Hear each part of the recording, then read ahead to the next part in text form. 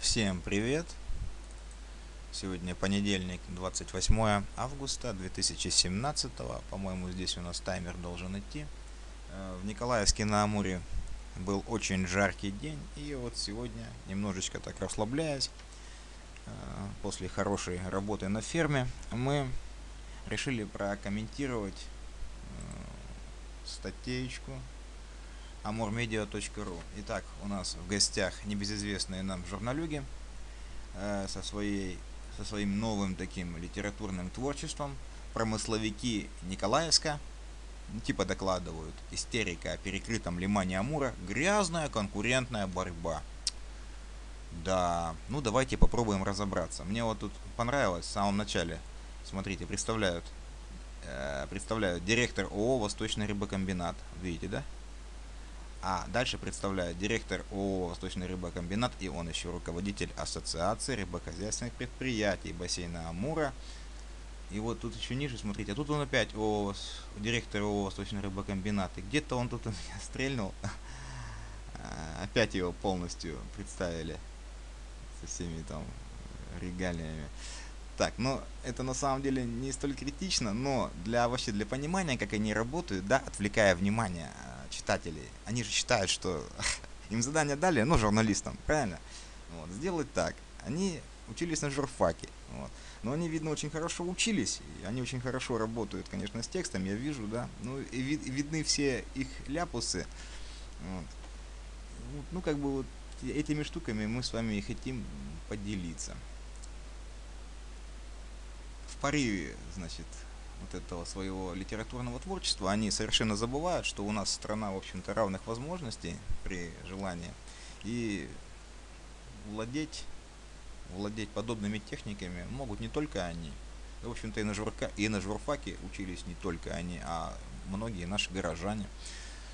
Так, значит, они говорят так. Грязной конкурентной борьбой называют николаевские рыбопереработчики, почему-то не в кавычках, Шумихова вокруг полностью перекрытого лимана Амура. Ну, значит, утверждаю, что никто ничего не перекрывал, все нормально, все в порядке. Кстати, вас э, не смущает вот это вот?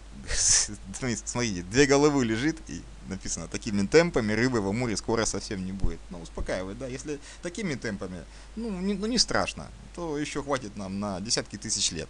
Вот, ну, вот если бы посмотреть фуры, я вот тут э, не подготовился, надо было видео положить, ну, я думаю, вы посмотрите, да, которые загружаются, вот, э, возится прямо, вычерпывается эта рыба полностью, где в, э, в устье реки Амур, куда она приходит на, не, на нерестилище. И вывозится. Вот, вот это, конечно, да, это такими темпами скоро не будет. А это две головы, это ерунда. Вот те фотографии бы, да. Ну вот видите, да, вот эти, вот это тоже очень хороший такой четкий журналистский ход, который практически всегда срабатывает. То есть, ну, усыпляем внимание. Ну, две головы, да, как не будет. Да, ерунда, люди думают, ерунда не будет. Так, дальше. Э, да, ранее редакция Амурмедиа уже писала, что рыбакам Николаевского и Ульского муниципальных районов в этом году нечего ловить. Да-да-да, писали, я помню, они там, они видосик делали такой, тоже занятный, с таким звукорядом замечательным. Мы его тоже, кстати, прокомментируем скоро. Так, значит, э, что нам говорит э, директор Александр Поздняков? Он говорит, что что ульчи перебрали себе производственных мощностей, а окупать их нечем, потому что рыбы нету. Все, и вот они резюмируют. Истерика – это все грязная конкурентная борьба. Все, рыбы, рыбы валом, а николаевские брешут. Ну, бывает такое. Ну, в Тихом океане нет рыбы, что сделать? Вам же говорил же там директор стадиона. Директор стадиона встал и сказал, рыбы нету, все, нигде, ни в море, ни в океане. Вот. И вот, вот, вот этот вот пунктик меня вот прям начал, так, э, если честно, веселить. Вот. И спросил ребят прокомментировать, так, поделился, что думаю. Ну, как бы согласились, что имеет смысл. Вот.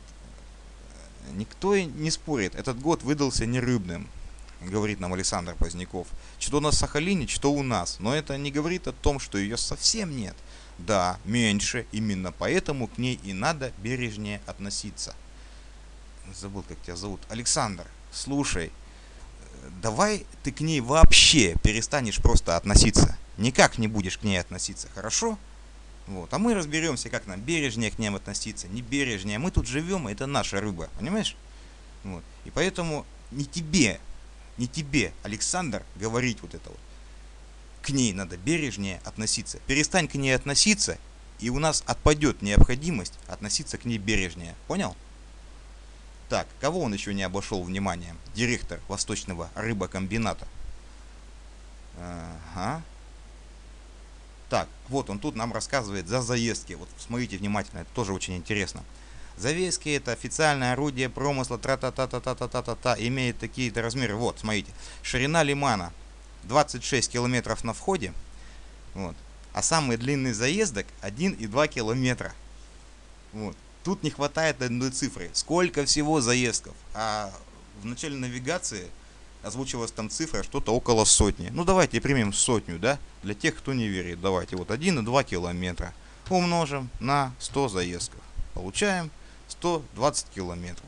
Делим на 26, то есть ширина лимана на входе. И получаем, что заездки могут перекрыть лиман четыре с половиной раза полностью. Вот. Проверить, конечно, это, ну, я не знаю, как бы, у меня нет возможности проверить. Если есть такие конкретные видосики, э, забрасывайте в личку вот, ко мне на страницу в Одноклассниках, либо закидывайте в группу. Да, вот коллеги группу создали, э, э, называется Амур Батюшка, тоже в Одноклассниках. Туда можете прям заливать. Я думаю, там не будет проблем, но там или делитесь, там или видео заливайте. Вот мы, в общем-то, довольно демократичны, мы не будем требовать там заливать видео в видео, там фото в фото, ну как получится, мы, если что, будем переливать сами, если будет сильно лента заспамлена, заспамлена. Ну, все, договорились, да, по этому поводу. Так что тоже подписывайтесь э, в группу, принимайте участие в борьбе по спасению экологии России матушки, которая, в общем-то,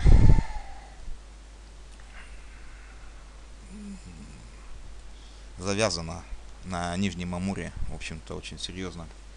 Так, ну вот, это мы посчитали, еще одну такую ложь, да? Так, год не совсем удачный, так, нормы, так, это все, это все, это все, это все. О, вот она, рыбу мы продаем по 36 рублей за килограмм. Вот, ну, вот из тех, кого я знаю, никто этого не знает. И даже, э, в смысле, никто ее не видел. Даже вот по чатам я спрашивал, по форумам лазил, кто-нибудь видел по 36 рублей за килограмм? Я говорю, ну, как бы слов мало, сфоткайте, пришлите там в студию. Но никто ничего не прислал. И как бы вот я такое предположение делаю, что вот это по 36 рублей за килограмм, видимо, он своим, может, родственникам раздает. Не знаю. Вот, и поэтому продажа, если дописать, то нормально будет. Продажа родственникам идет под брендовым названием, вот, э, доступная рыба. Да, тогда все, конечно, становится на свои места. Администрация все контролирует, все нормально, но рыба идет вот чисто родственникам этого товарища как Александра, Александра, вспомнил. Точно? Да, Александра Позднякова, да, да, да, да, да.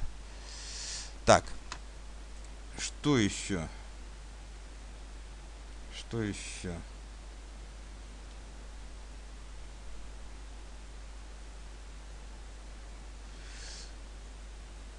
Значит, меня очень не порадовала вот эта вот концовочка. Тут они уже